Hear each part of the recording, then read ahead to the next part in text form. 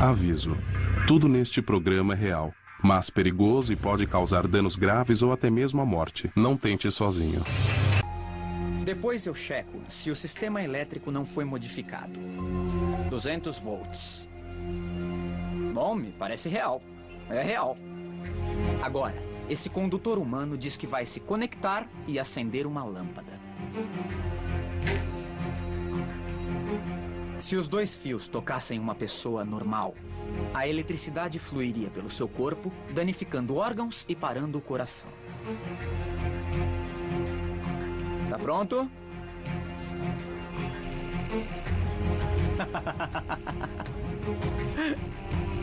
Eu nunca vi nada igual. Isso é muito legal. Ele tem corrente passando pelo corpo. Mas como isso é possível? Na boa, isso é real, isso é. Você tá pronto? Tá bom, então lá vai. Três, dois, um. Hora do show!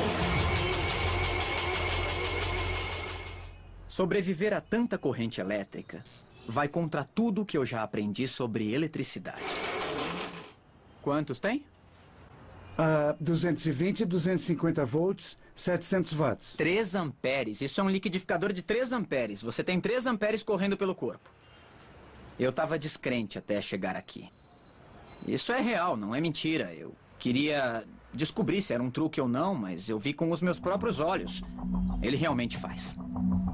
Ele sobreviveu a mais de 30 vezes a quantidade de corrente que pode matar um homem. Mas como o Mohan elétrico descobriu sua incrível habilidade?